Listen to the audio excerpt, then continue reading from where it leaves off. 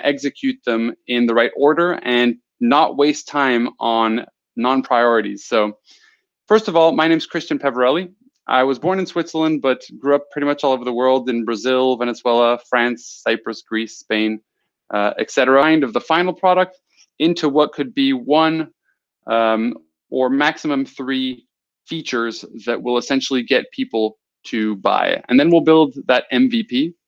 Again, we leverage no code platforms to, to do that. So we're, we're mainly focused around sort of helping people who do not know how to program uh, accomplish their, their goals of building companies. And then fulfilling, right? Once we've built the MVP, we can go ahead and fulfill. Let's break these down kind of step by step. Obviously, if that hypothesis was proven correct, and we know that it was naturally, and if it's not, you're going to want to fine tune that interview um, to essentially reflect uh, or actually clicking on our call to action. So in a smoke test, you're always